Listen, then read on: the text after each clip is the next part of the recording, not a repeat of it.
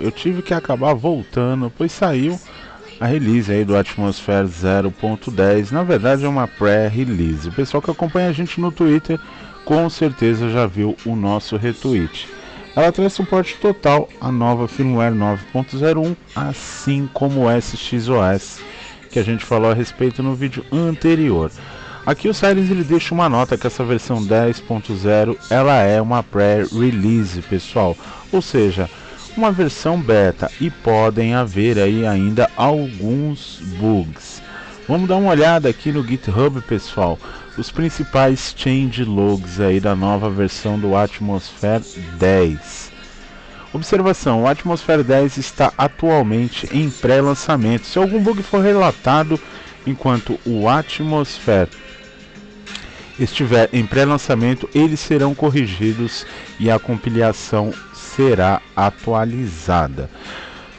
O seguinte foi alterado desde o último lançamento. Foi adicionado, é claro, o suporte à versão 9.10, 9.1.0 é, e uma observação é que o RAID Mint temporário adicionado no Atmosphere 0.9x ele será removido no 10.1 verifique se seu homebrew está atualizado.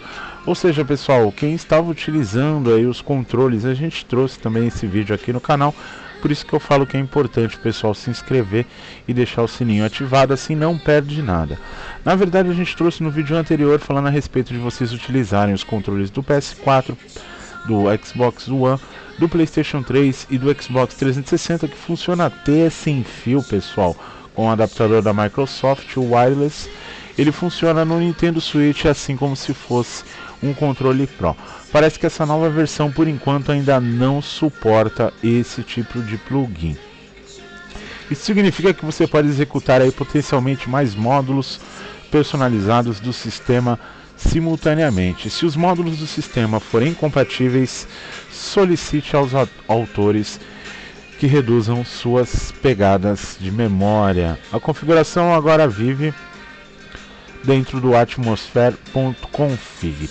Eu vou deixar aí na descrição para vocês, é claro, o download completo do novo Atmosphere, juntamente aí com a carga útil e juntamente também com a nova versão Homebrew Menu 3.1.1 e o Homebrew Launcher versão 2.2. Ou seja, quem fez a atualização mais recente de firmware e não estava conseguindo utilizar os homebrews e não possuía, é claro, a licença do SXOS, agora pode utilizar o Atmosphere, que é um custo firmware totalmente freeware. Na sequência, com certeza vai sair o Cosmos, vai sair SigPets, entre outros. Conforme for saindo, pessoal, eu não vou fazer um novo vídeo. Eu vou deixando aí os links na descrição para vocês, beleza? Então, de vez em quando, dá uma retornada aqui no vídeo para ver se tem alguma atualização, beleza? Eu vou ficando por aqui, em breve a gente está de volta.